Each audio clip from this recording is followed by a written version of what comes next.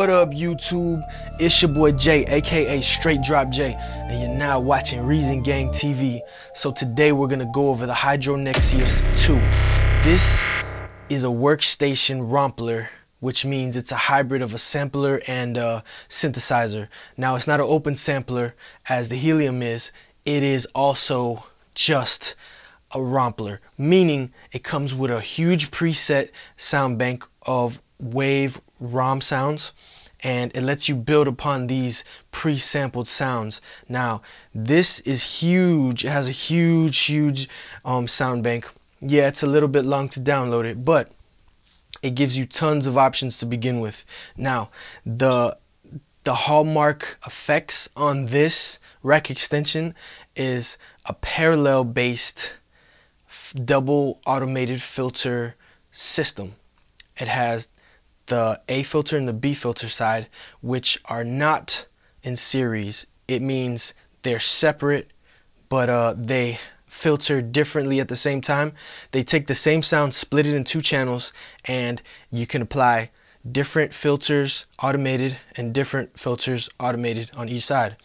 This gives you very cool unique effects on sounds it also has an AHD analog harmonic distortion effect feature and this adds that gritty analog sound tube or transistor sound even reason hallmark scream type of sound distortion. But uh it's really cool. It also has a couple more features. Of course has the onboard reverb delay chorus phaser and uh, it also has tone control, which is like sort of like a simplified EQ in the analog harmonic distortion section. This also has pitch vibrato for that ghostly sound or that tape drift sound. But uh, let's get into the details. That was just a little bit about it. But just know it's a powerhouse. It was my first development uh, for DNA Lab software, and it came out a few years ago, but it's still bumping with the rest of them. Let's go. All right, we're gonna start with a reset device. I have a little loop I recorded. The first thing we do is go to the instrument select and let's try a bell. There's a bunch more. There's leads, monosynth pads, polysynth strings, pianos, choirs, everything. Uh, we'll start with a bell.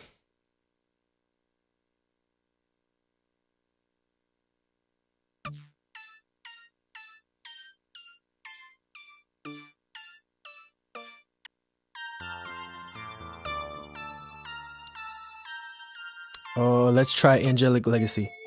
Okay, so the first thing I added a little release, just a little bit. Now, when we begin, it has the X filter engaged volume halfway. So if we want to bring in the Y side, we just bring up the volume. Now, it's playing the same exact thing, but I'm going to bring it down an octave. Now, we can add a filter on one on the high side, the X side. And we can automate this using the LFO.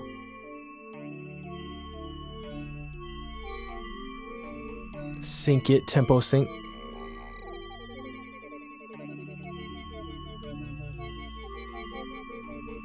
Add a little resonance. We could even add a bit of envelope attack.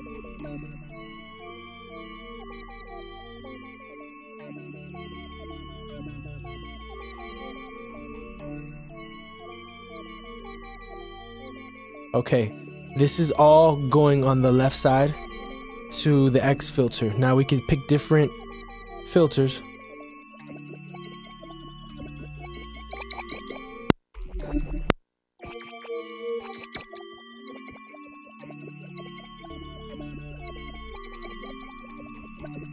and we could fade the main mix, even pan it.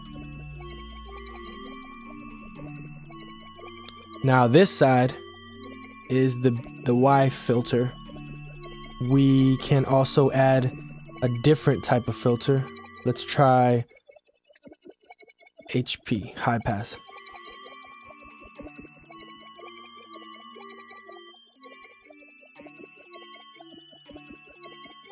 Let's bring in a sl slightly less, slightly less speed on the LFO. Maybe change the shape. And less amount. Pan it to the right a little because the X filter has a little pan to the left.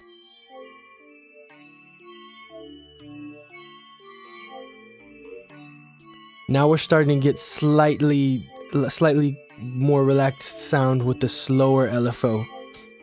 Spatial, spatial imager is the Haas effect. It is,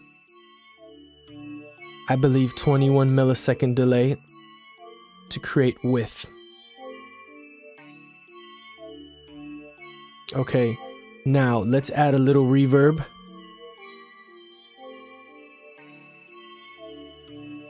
and a, the stock stock settings sound pretty nice. Might juice a little bit of the decay up.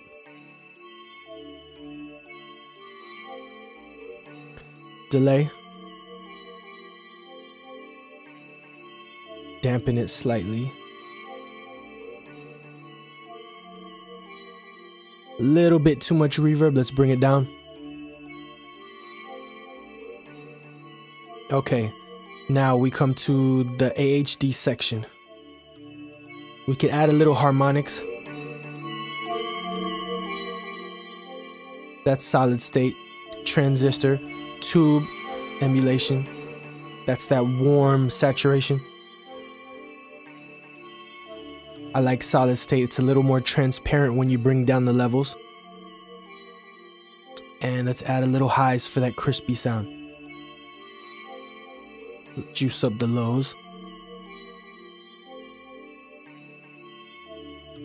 Now, we can add a little bit of the ghost sound, which is either the saw or the sine.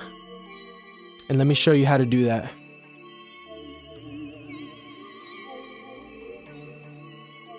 You could play with the rate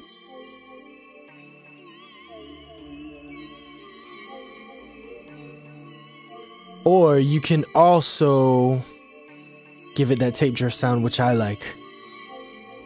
You, we use random, the random waveform, and we juice up the depth a little bit. You see how it's drifting slightly in and out of tune. Now, finally, I like to add a bit of chorus, sometimes chorus and phaser for thickness. Maybe a little too much tape drift.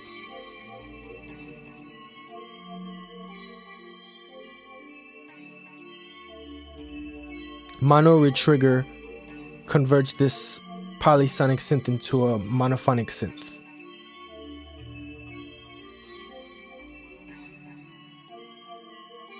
Okay, now the pitch range, of course, this controls the pitch bend.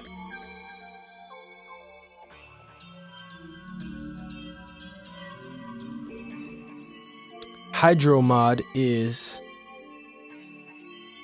an L, a low pass filter with slight resonance for that Drake effect.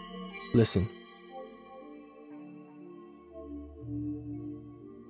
It's a submerged hydro filter. So you could take any one of the sounds you make and instantly give it that dark feel.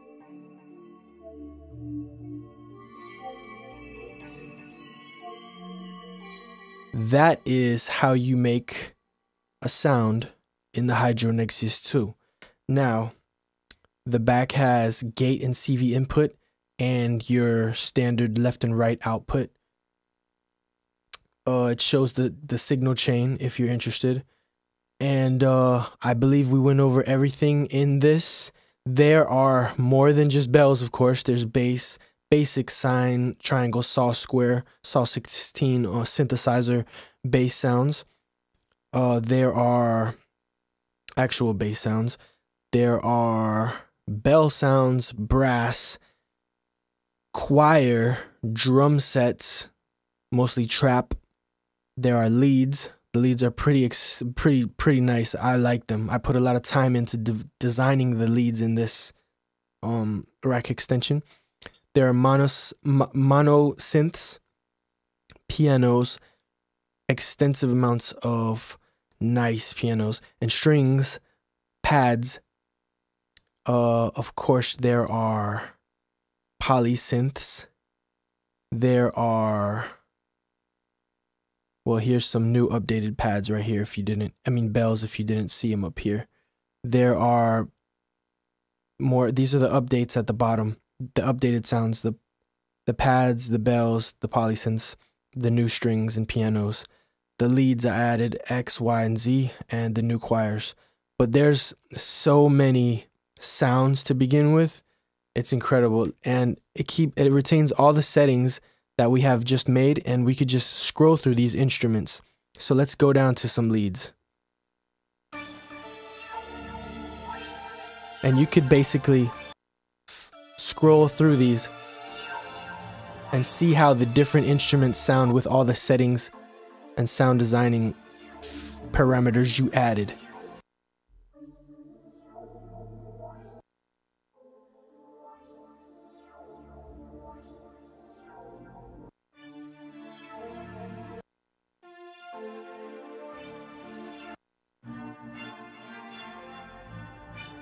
Okay. I'm going to show you a couple sounds from the Future Trap Symphony refill. And here are a couple. Dripping Sink.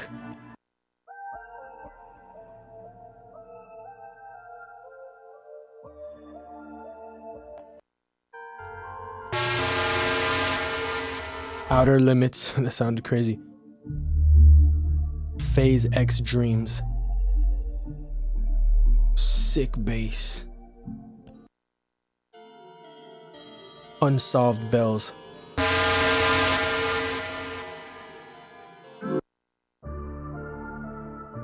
Angelic gates.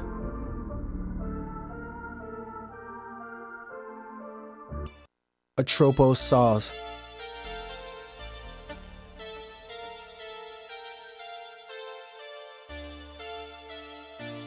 Active reversal piano.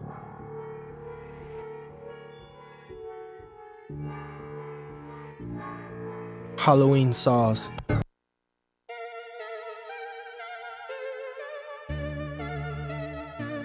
Apocalypse strings.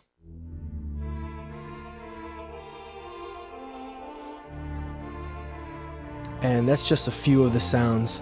Um, there's there's a there's a bunch of refills for the Hydronexius but I just wanted to show you the capabilities of it. Pretty cool sounding rack extension. Um, that's the end of my tutorial, guys. Okay, guys, I hope you guys enjoyed this tutorial on the Hydronexius Workstation ROM 2.0.